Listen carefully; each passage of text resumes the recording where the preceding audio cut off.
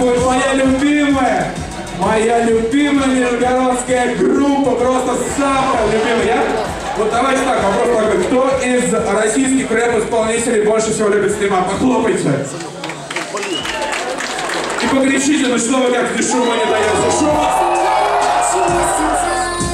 Окей, а из нижегородских ребят, это группа «Контекст», они просто бомба, они разрывают лица, отвечаю.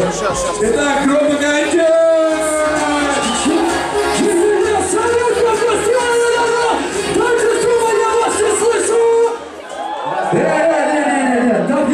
Еще раз, дайте шума! Вот, круто! Итак, друзья, мы представляем группу «Контекст», и буквально мы тот маленький шаг между вами и концертом Слима. Ради чего сюда